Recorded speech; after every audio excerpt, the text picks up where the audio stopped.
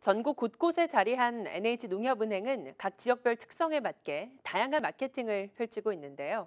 오늘은 수많은 회사들이 모여 있는 광화문에서 기업 고객과의 상생을 위해 노력하는 NH농협은행 광화문 금융센터를 찾았습니다.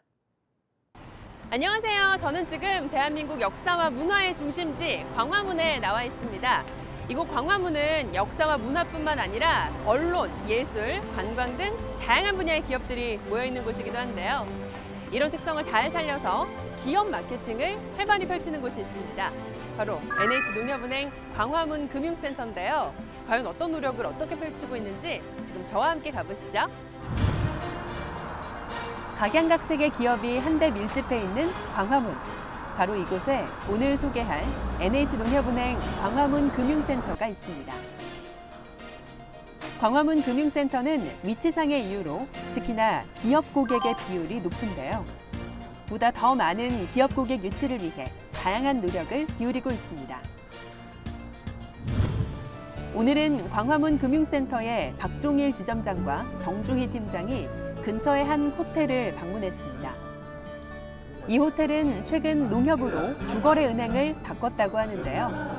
처음에는 다른 은행을 저희가 어, 거래하고 있었어요. 근데 필요한 부분을 어, 어, 도와주고 협조해주고 하다 보니까 지금은 그 주거래 은행까지 그렇게 발전하게 된 겁니다.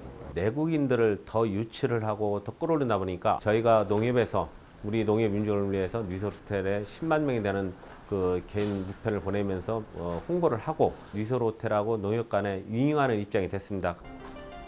농협의 이러한 노력으로 이 호텔은 정책 자금 20억 대출뿐만 아니라 퇴직연금 100명 변경 등록, 그 밖에도 50건의 신규 카드 청약 등을 체결했습니다.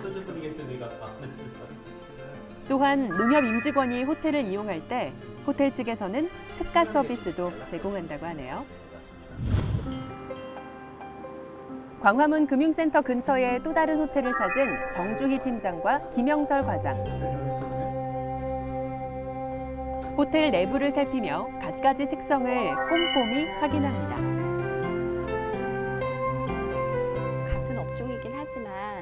이제 각 호텔의 특성이 있고 특색이 있잖아요. 그래서 그 부분을 파악하기 위해서 어, 저희가 섭외를 나왔고요. 그래야 더 많은 부분에 대해서 홍보도 해드릴 수 있고 더 정확한 정보를 또 전달해드릴 수 있을 것 같아서 기본적인 정보를 가지고 이제 서로 도움을 줄 수 있는 것들에 대해 이야기를 나누는데요.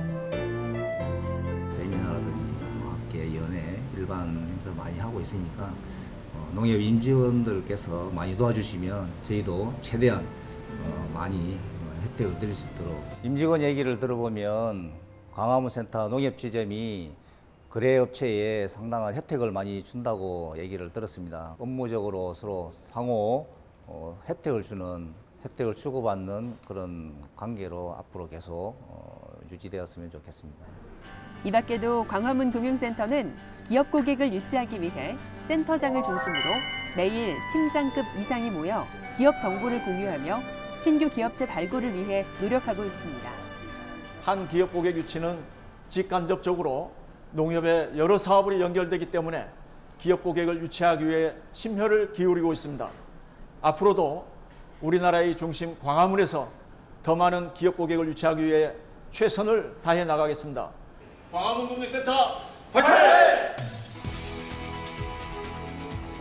오늘은 기업 마케팅을 위해서 다양한 노력을 펼치고 있는 NH농협은행 광화문 금융센터를 만나봤는데요. 각 법인 고객의 특성과 필요를 잘 알고 그들의 진정한 파트너로서 상생하려는 노력이 광화문 금융센터의 성장 비결이 아니었나 싶습니다. 앞으로도 더 많은 고객들의 사랑을 받는 광화문 금융센터가 되길 바라겠습니다.